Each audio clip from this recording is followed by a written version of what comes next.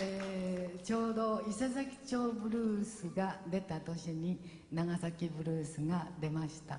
ですから1年にミリオンセラーが2枚ということでした。ただその他にも、うん、あのヒットしない影に隠れちゃったっていうあの枚数は年間で7枚ぐらい出してるんですけども1年にミリオンセラーが2本出たということで、えー私は忙しく日本国中を旅をして歩いておりました時時代が本当についこの間のような気持ちがいたします。お別れです。長崎ブルースを聴いてください。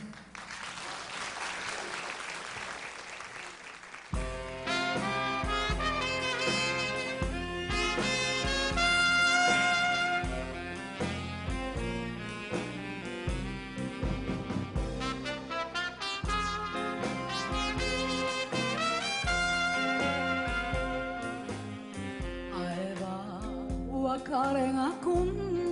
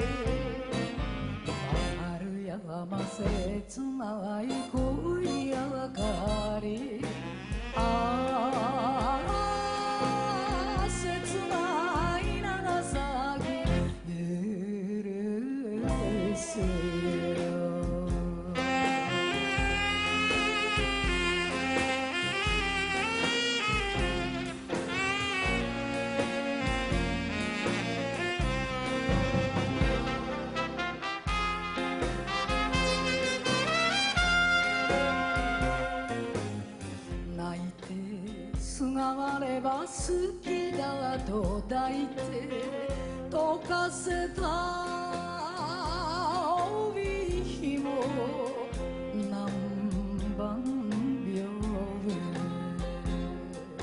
go.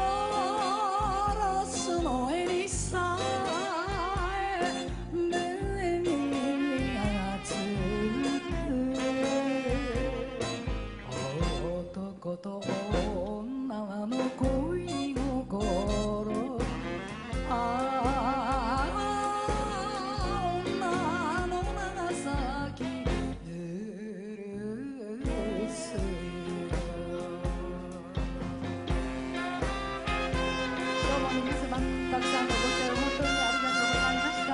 また皆様にお会いできることを楽しみにしております。今後ともよろしくお願いいたします。